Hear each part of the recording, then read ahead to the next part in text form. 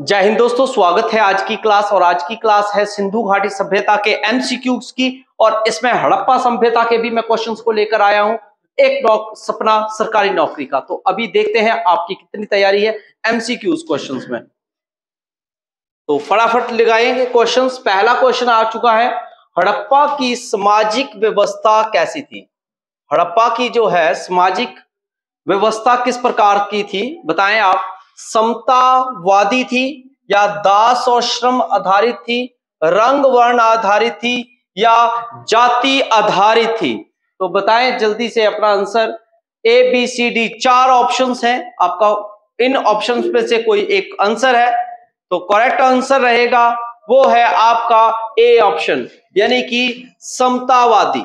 समतावादी थी। क्या थी? समतावादी थी ये। हड़प्पा सभ्यता जो है, सामाजिक व्यवस्था समतावादी थी।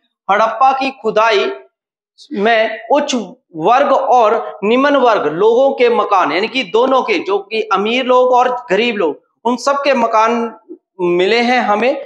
और परंतु उनमें से कोई भी भेदभाव का साक्ष्य नहीं मिला है कि अमीर और गरीब का, कि वो डिफरेंस करते थे। और समाज में जो है, लोगों का विभाजन, परंतु भेदभाव नहीं था। विभाजन मतलब समाज को ही डिफरेंट डिफरेंट वे में रखा था, मगर उनमें भेदभाव की कहीं पे भी आधिकारिक जानकारी नहीं मिली है। अगला सवाल है, निम्न में से कौन सी चीज़ सिंधु घाटी की खुदाई में वाणिज्यिक और आर्थिक विकास का घोतक है, यानी कि चिन्ह है? आर्थिक विकास का। मिट्टी के बर्तन, मोहरे, नाव या घर? आपके हिसाब से कौन है जो आधुनिक विकास के लिए, यानी कि आधुनिक जो उनका आर्थिक विकास हुआ था, वाणिज्य रूप में, यानी कि स्टेटिकल रूप में तो वो कौन था? आपके, के हिसाब से कौन सी ऐसी चीज़ है जिससे हम कह सकते हैं कि ये जो सिंधु सभ्यता थी, वो एक वाणिज्यिक और आर्थिक विकास को जो है वो शो करती थी? जल्दी से आंसर कमेंट कर सकते हैं और करेक्ट आंसर क्या रहेगा? जल्दी से अपना आंसर कमेंट करिएगा। आंसर साथ में ही करेक्ट करिएगा। साथ साथ में जी। तो मैं सबसे पहले बता देता हूँ, आंसर रहेगा मोहरे। क्या रहेगा? मोहरे रहेगा बी ऑप्शन सिंधु घाटी की सभ्यता में जो है, मोहरे वाणिज्य और आर्थिक की घोषणा करती हैं, यानी कि घोतक है, यानी कि प्रतीक है, और दो हज़ार से ज़्यादा जो मोहरे हैं, वो हमें प्राप्त हो चुकी हैं। लगभग 1200 अकेले मोहन जोदड़ो से ही हमें प्राप्त हुई थी मोहरें, और अधिकतर जो है वो हमें काम मिली है, सेल खड़ी में मिली है। कहाँ पर मिली है जी? मोहरे, सेल खड़ी में मिली है हमें ये मोहरे, और 2000 से ज़्यादा है तो हम कह सकते हैं, अंदाज़ा लगाया जा सकता है कि तांबा राजस्थान की खेतड़ी नामक स्थानों से आयात किया जाता था, और टिन जो है वो अफ़गानिस्तान से जो है आयात किया जाता था। नेक्स्ट सवाल आ चुका है आपका। कि भारत में सबसे पहले खोजा गया शहर कौन सा है? भारत का पहला खोजा गया शहर। आपके हिसाब से क्या होगा? हड़प्पा, पंजाब मोहनजोदड़ो या सिंध? सभी आंसर कमेंट कर दीजिएगा। सभी आंसर कमेंट करिएगा। भारत में सबसे पहले खोजा गया शहर कौन सा था? चार ऑप्शंस हैं। चार ऑप्शंस हैं। कौन सा खोजा गया होगा? आंसर कमेंट करते रहिएगा, आंसर साथ में कमेंट करिएगा। करेक्ट आंसर रहेगा वो है ए ऑप्शन हड़प्पा। हड़प्पा की जो खोज है वो सबसे पहले हुई है, याद रखना। और इसके लिए मैं आपको बता देता हूँ 1921 में की गई थी। और इसको खोजा जो है वो सिंधु घाटी सभ्यता में जो है वो खोजे जाने वाला पहला शहर शहर भी था हड़प्पा, ठीक है? और विश्व की प्राचीन सभ्यताओं में से भी एक ही है हड़प्पा। और अब तक जो है वो 2000 से ज़्यादा स्थल जो है वो खोजे जा चुके हैं, जिनमें सात जो है वो महानगर की भी संख्या दी गई है। अगला सवाल, जाने से पहले थोड़ी सी डिटेल है ये। हड़प्पा सभ्यता की खोज जो है वो दयाराम साहनी ने की है, रावी नदी के तट पर है। नोट करना है, आपने नोट्स बनाने हैं मेंटेन करने हैं, ठीक है? मोहन जोदड़ो की खोज किसने की है? राखल दास बनर्जी ने की है और सिंधु नदी के किनारे पर है। चुंद्रोड़ो की खोज किसने की है? एम जी जुम मजुमदार ने की है। सिंधु नदी के किनारे है। धोलावीरा की जो खोज है आर एस विशिष्ट ने की है। कालीबंगन की खोज जो है एक घोष ने की है। घग्गर नदी के किनारे है जिसे का प्राचीन नाम, नाम जो था वो सरस्वती था। क्या नाम था? सरस्वती था। लोथल की खोज डी एस राव ने की है जो कि भोगवा नदी के किनारे पर है। और बनवाली की जो खोज है, वो आर एस विशिष्ट ने की है, जो कि प्राचीन नदी यानी कि सरस्वती के ही किनारे पर स्थित है। ये मोस्ट इंपॉर्टेंट क्वेश्चन है। एक आपका सपना और हमारा सपना, आपको सिलेक्ट कराने का। तो इसको ध्यान से आपने रिवाइज करना है और क्वेश्चन अगला लगाना है। क्वेश्चन आपका आ चुका है। निम्नलिखित में से कौन सी हड़प्पा की खुदाई में नहीं मिल पाई है, यानी कि नहीं मिली है। जब भी पेपर दें तो ध्यान से दें, क्योंकि टिक गलत लग जाते हैं। टिक गलत लग जाते हैं तो इसलिए आपने ध्यान से जो है इन क्वेश्चंस को लगाना है। तो करेक्ट आंसर रहेगा वो है डी ऑप्शन शिखर रहित मंदिर। कोई भी मंदिर जो है, उस वक्त शिखर से रहित, यानी कि विदाउट शिखर जो है, वो नहीं मिला है। सभी शिखर में शैली में थे। डी ऑप्शन रहेगी विश्व का प्राचीनतम नगरीय सभ्यता, जिसकी विशेषता के रूप में जो है, समकोण में काटती हुई सड़कें मिली हैं। ठीक है जी? और नगर का दो टीलों में विभाजित हुआ है, जो कि पूर्वी टीला और दुर्ग रहित था, और पश्चिमी टीला दुर्गीकरण था, यानी कि दुर्गों से था, भरा हुआ। और जल निकासी के लिए उत्तम स्रोत था। बहुत ही बढ़िया मतलब उनकी जो है सिस्टमेटिकली था, ये कह सकते हैं वहाँ के शहर। और सिंधु घाटी की सभ्यता में ना तो किसी धर्म का कोई साक्ष्य मिला है और ना ही मंदिर जैसा कोई इमारत मिली है कि हम वो बोले कि मंदिरों की भी वो पूजा करते थे। अगले सवाल की तरफ़ चलते हैं। अगला सवाल आपके सामने आ चुका है और सवाल को आंसर दीजिए। हड़प्पा सभ्यता कब खोजी गई? मैंने अभी आंसर दिया था आपको। बताएँ आंसर दीजिएगा। ए बी सी डी चार ऑप्शन है, मैंने बताया था राय बहादुर साहनी के द्वारा ये खोजा गया है। बताओ बच्चों, कब कमेंट करो कमेंट करो, जल्दी से, जल्दी। कमेंट करो, कब हुआ था, कब हुआ था? हाँ 1921 1921 डी ऑप्शन 1921 जो है वो सही ऑप्शन है। 1921 में जो है इसको खोजा गया था, प्यारे बच्चों। बहुत बढ़िया। तो ये आपने याद रखना है राय बहादुर सहानी के द्वारा जो है 1921 में खोजा गया था पहला स्थल है।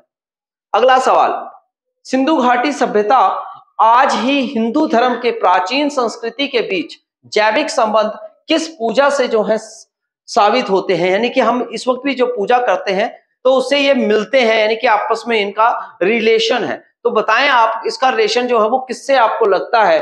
जैसे कि पशुपति इंद्र देवी माँ है, पत्थर वृक्ष, जानवर है, विष्णु और शक्ति है, शिव और शक्ति है, आपके हिसाब से कौन सा आंसर सही रहेगा? मैच करता हुआ आंसर बताना है आपने। कौन सा आंसर मैच कर रहा है? सिंधु घाटी सभ्यता आज और आज की हिंदू धर्म प्राचीन संस्कृति से जुड़ा है तो वो है हमारा पत्थर, वृक्ष और जानवर। इनकी भी आज भी पूजा की जाती है। आपको पता है, पत्थर यानी कि हमारे शिवलिंग के लिए दे सकते हैं, वृक्ष यानी कि पीपल आ गया, जानवर आपके लिए गाय आ गया, इनकी हम पूजा करते हैं। तो इसलिए ये इससे आपस में जुड़े हुए हैं। हम कह सकते हैं कि सिंधु घाटी सभ्यता जो है, वो अभी भी कायम है। नेक्स्ट क्वेश्चन की तरफ़ चलते हैं। सिंधु सभ्यता का एकमात्र स्थल जहाँ से कृत्रिम गोदीवाड़ा मिला है। कृत्रिम गोदीवाड़ा मिला है। आंसर कमेंट करिएगा। गोदीवाड़ा मिला है कृत्रिम कमेंट करिएगा।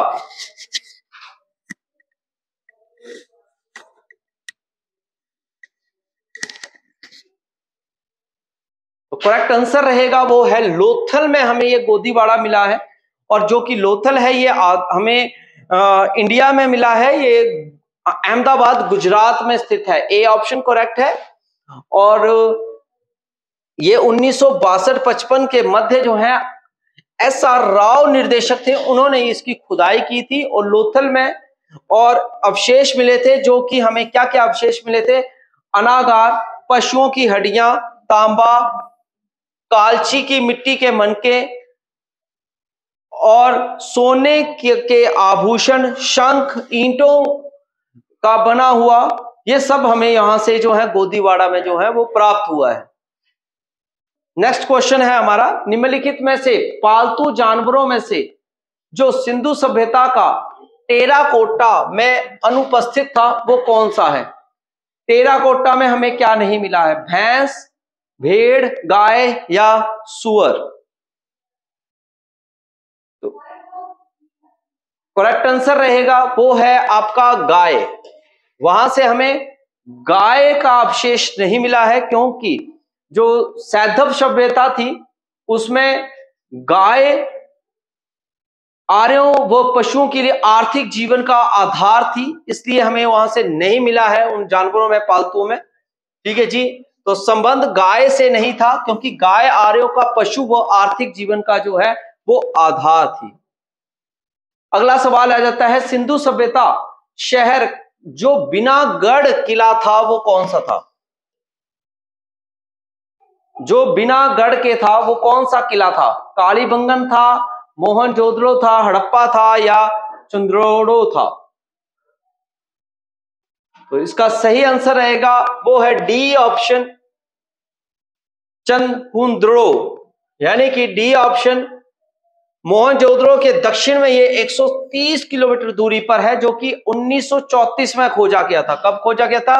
1934 में खोजा गया था और किसके द्वारा खोजा गया था? उसका नाम भी लिख लीजिएगा, एन सी मुजुमदार। और 1935 में मैके के द्वारा भी जो है इसका उत्खनन हुआ, यानी कि दोबारा से खनन हुआ, और इसमें हमें मकान पक्की ईंटों के बने होते थे। इसमें ये मिले हैं, शौचालय मिला है, स्नानागार मिला है, आँगन मिला है, आदि सब कुछ मिला है। यहाँ से मोहरे आदि बहुत कुछ मिला है।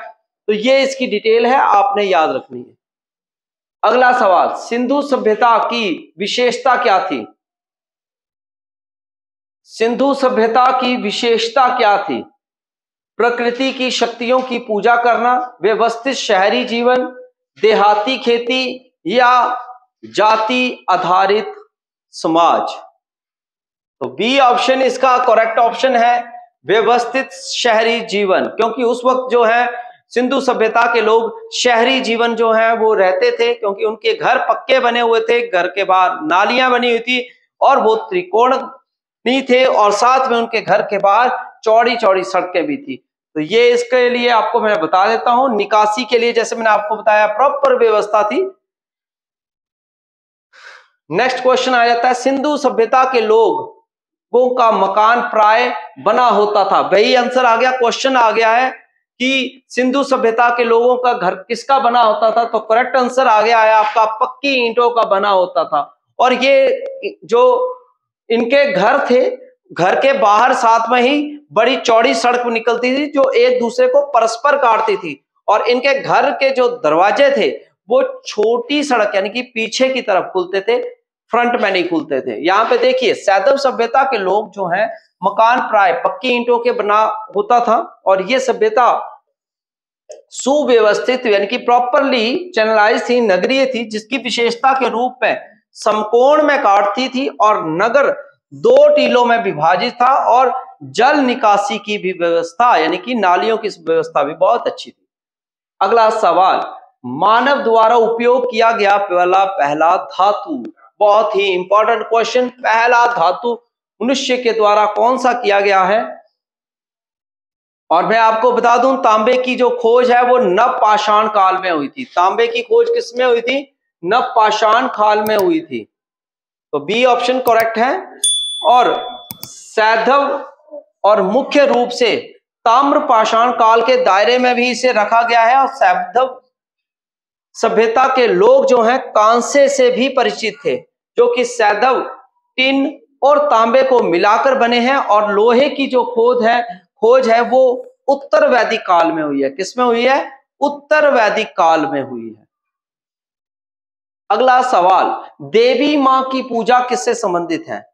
देवी माँ की पूजा किससे संबंधित है? आर्य सभ्यता से या भूमध्य, नगरीय सॉरी सागरीय सभ्यता से, सिंधु घाटी की सभ्यता से या उत्तर वैदिक सभ्यता से? साथ साथ में अपना आंसर देते रहिएगा। तो करेक्ट आंसर रहेगा, वो है सिंधु घाटी की सभ्यता से जुड़ी है। किससे जुड़ी है? सिंधु घाटी की सभ्यता से सी ऑप्शन तो टेराकोटा में की जो है, नारी की मूर्तियाँ मिली हैं, ठीक है? यानी कि मात्र देवी की पूजा का संबंध सैधव सभ्यता से है और हड़प्पा से मिली एक मूर्ति की जो है गर्भ से पौधा निकलता दिखा दिखाया गया है और अतः ये भूमि की उर्वरकता की देवी माना गया है और मोहनजोदड़ो में से एक कांसे की नृत्यकी की मूर्ति मिली है लेकिन नाचती हुई एक मूर्ति मिली है। नेक्स्ट है, सिंधु घाटी की सभ्यता की मुख्य विशेषताएँ थी। क्या विशेषताएँ थी? नगर सभ्यता थी, मध्य पशान थी, कृषक सभ्यता या पूरा सभ्यता। तो करेक्ट आंसर रहेगा वो है नगरीय सभ्यता थी ये, बहुत ही स्टैब्लिश अच्छे ढंग से थी। तो ये हमने याद रखना है प्रॉपरली सुव्यवस्थित थी। जैसे मैंने आपको पहले भी बताया, पक्की ईंटों से बने हुए थे इनके मकान और पानी की निकासी का भी प्रॉपरली था वहाँ पे। तो नेक्स्ट आ जाता है, मोहन जोदड़ो का सबसे बड़ा भवन कौन सा है? मोहन जोदड़ो का सबसे बड़ा भवन कौन सा था? और आपको पता है, मोहन जोदड़ो जो है, वो लड़काना सिंधु नदी के किनारे पर है, जो कि पाकिस्तान में स्थित है। और इसकी जो खोज है, वो 1922 में राखल दास बनर्जी के द्वारा की गई थी। किसके द्वारा की गई थी? राखल दास बनर्जी के द्वारा। और ये यहाँ से ही इमारतों में अनागार का सबसे बड़ा भवन मिला है, जो कि याद रखना है लड़काना पाकिस्तान। ठीक है जी? नेक्स्ट क्वेश्चन है, निम्नलिखित विद्वानों में से हड़प्पा सभ्यता का सर्वप्रथम खोजकर्ता कौन था? हड़प्पा सभ्यता का खोजकर्ता, अभी मैंने आपको आंसर दिया है, sir John Marshall, R D Banerjee, A कंगिंगम या दयाराम साहनी। तो करेक्ट आंसर रहेगा, वो है दयाराम साहनी ही इसका सही आंसर रहेगा। बहुत ही बढ़िया आंसर। सभी कमेंट करते रहिए। हड़प्पा की जो जानकारी है, वो हमें चार्ल्स मैसेन ने 1826 में ही दे दी थी, लेकिन 1922 में हड़प्पा की खोज की है, जो कि दयाराम साहनी के द्वारा की गई है, और इन्हें ही खोजकर्ता के रूप में जाना जाता है। याद रखिएगा। अगला सवाल काली बंगन स्थित है? काली बंगन कहाँ पर स्थित है? तो इसका सही आंसर रहेगा वो है राजस्थान। कहाँ पे है जी? राजस्थान। कालीबंगन जो है, राजस्थान में कौन सी नदी के किनारे है? घग्गर नदी के किनारे है। कौन सी नदी के किनारे है? घग्गर नदी के किनारे है और इसकी खोज उन्नीस में एस घोष के द्वारा की गई थी, जो मैंने आपको चार्ट बनवाया है, उसी चार्ट से क्वेश्चन पूछे जा रहे हैं। आप उनको तैयार करें और अच्छे से दिमाग में रखें हड़प्पा वासी किस वस्तु के उत्पादन में अग्रणी थे? तो किस पे अग्रणी थे? यानी कि आगे किसके आगे थे? तो सबसे ज़्यादा थे ये कपास के लिए अग्रणी थे। ये यानी कि कपास की खेती जो है, बहुत अच्छे से करते थे और इनका जो मूल आधार था, वो था कृषि, जिसमें ये गेहूँ, जौ, खजूर, तरबूज, मटर ये सभी कुछ लगाते थे, फ़सलें, हर प्रकार की फ़सल जो है वो इन्होंने लगाई हुई थी। ठीक है जी?